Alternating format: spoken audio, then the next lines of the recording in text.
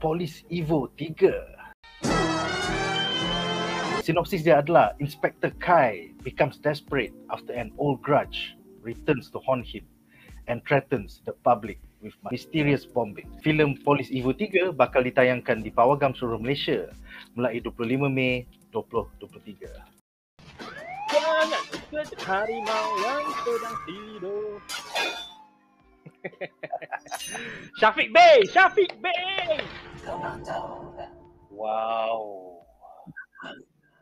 Aku dapat sepuluh tahun dulu. Sebab dalam api aku nampak tanggungjawab aku. Dua minggu lepas, anggota polis kita mati kena bunuh. Semuanya itu berlaku kerana Mamat ni bekas anggota polis. Kau tahu tak? kira watak rekon ke apa? Tak pernah wujud ke Saya sebelum? tenang. Tak tak tahu. poin. Sekarang aku faham. Ah, Kau rekon lah. anak gila tu. Si baik musuh aku. Sudah ke laut dah. Bila nak pergi bila? Pencen nanti topak dah. Oh, Gila. aku suruh kau keluar masuk siap-siap. Bukannya start bagi peluru kat sana. Damn. Gila babi. Ni. Aku suka shot ni tu. Tak pakai bintang shot ni cantik gila. Tu tu. Eh? Kali aku tanya kau kalau kau ada anak isteri, mana tanggungjawab kau? Tanggungjawab kepada dia orang kau atau kepada kerja kau? Wow. Kau dengan Gila babi tu. Bagi lain tu. Syafiq Bey. Syafiq Bey. Apakah pendapat anda tentang fokus sequel Polis Evo kali ini tentang ex-polis cuba mendapat vengeance ya? Cerita 10 tahun lepas direkonkan ke dalam uh, world building Polis Evo. First of all, aku memang layan kedua-dua filem Police Evo. Tapi aku rasa aku tak layan dua-dua tu dekat wayang kot. Aku tak tahu kenapa. Sebab mungkin waktu tu aku a bit skeptical sikit dengan Malay movie. Uh, aku choose untuk tak tengok kat wayang. Tapi Police Evo yang first, bila aku tengok, dia memang cantik. Sebuah filem lokal yang cantik dan bila aku tengok dua-dua filem ni aku boleh katakan yang Police Evo ni adalah sebuah filem lokal body cup yang kita nanti-nantikan. Macam Bad Boys, Little Weapon, Rush Hour lah apa semua tu. Siapa Kita dapat. pengarah sebelum ni bro? The first one is Gas Abu Bakar. The Yang kedua, second yang one kedua, is Joel and Yes, ada dua orang. Joel So dengan Andrew Andrew Ah, Chu. Andrew Chu. But ketiga-tiga filem ni dia punya screenplay dan dia punya story, dia punya script tu daripada Joel So.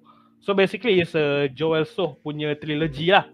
He the one should we give uh, credit to to build the Police punya world building ni. The first one aku suka sebab Gas Abu Bakar dia pandai bermain dengan visual apa semua kan. It's a very simple visual, simple graphic. Dia tak try hard sangat and then lepas tu script pun cantik. Aku memang agak terkesima lah tengok yang first. Dan diorang give a proper budget. I think about 8 million. Untuk the first film diorang bagi 8 million. Astro bagi. So memang diorang tahulah the budget tu go that way. Memang pergi tempat tu. Bukannya saja-saja je nak bagi kan. Tapi yang kedua punya, aku rasakan sebenarnya filem yang kedua punya storyline lagi fitting untuk jadi filem yang ketiga. Sebab filem yang kedua dia go big tau. Dia go macam almost global. Dia, pergi ke terrorism. And then lepas tu ada kerjasama dengan Indonesia. Aku rasakan sepatutnya macam the first is okay pasal dadah. Then it's good enough lah. And then the second one patutnya baru dia bawa cerita pasal the ex-police revenge ni kan. Is quite a small scale punya. And then the third one baru dia pergi terrorism. Ah, So aku rasakan macam filem kedua dia dah pergi ke terrorism. And then filem ketiga dia pergi ke ex-police punya revenge. Dia macam dah balik ke small scale balik. Daripada besar jadi small scale balik. Dan masalahnya aku tahu Sharnas ni dia memang badass boleh bawa watak villain. Tapi aku expect that someone yang lagi otai untuk bawa watak villain tau. Someone yang lagi macam filem yang, ke- yang kedua lah. Filem kedua walaupun macam ramai kata tak best kan benda kan ramai kata macam kurang daripada yang first tapi aku suka gila villain dia Hasnur Rahmat. Hasnul Rahmat dia memang betul-betul bagi kau-kau lah orang kata if you do not respect the movie of storyline you can respect the villain macam tu tau. Memang nampak aura dia. So aku respect villain yang kau, ketiga. kau nak M Nasir lah. Kau nak M Nasir lah. Sepatutnya, sepatutnya tu.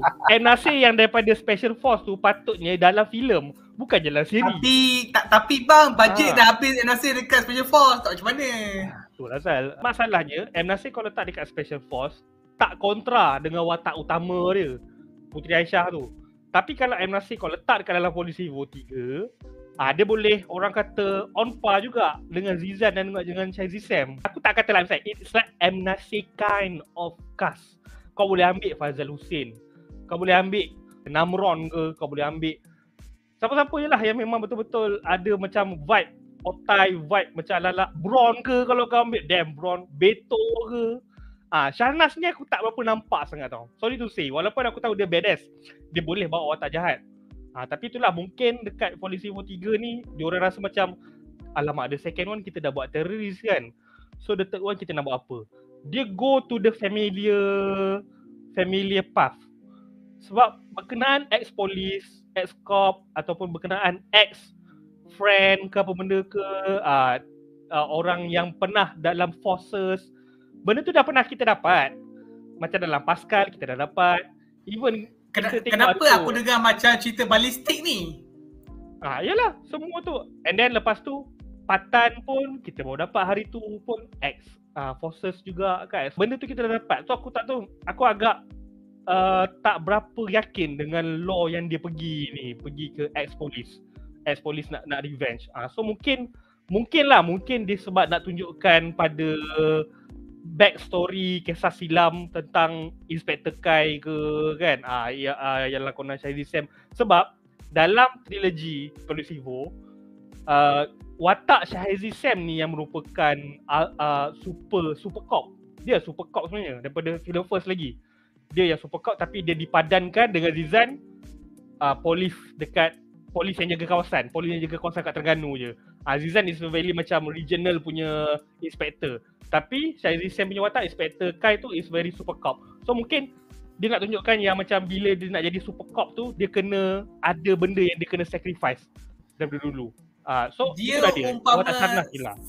Space Ranger dengan Sheriff lah so cerita. Yes, lebih kurang macam. Dia ibarat macam kau bayangkan eh, kalau korang pernah tengok cerita Hot Fuzz. Kalau pernah tengok cerita Hot Fuzz, watak Simon Peck tu is a very super cop tapi lepas tu poli-poli semua tu macam tak tahan dengan dia, hantar dia pergi ke kampung jumpa dengan apa? Jumpa dengan kawan dia tu Nick Frost. Ah Nick Frost, Nick Frost tu basically is a Zizan punya watak ah.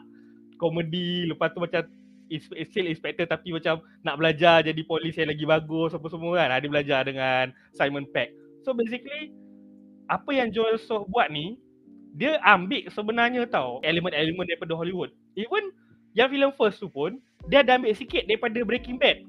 Contoh macam watak Wan Hanafi Su kan.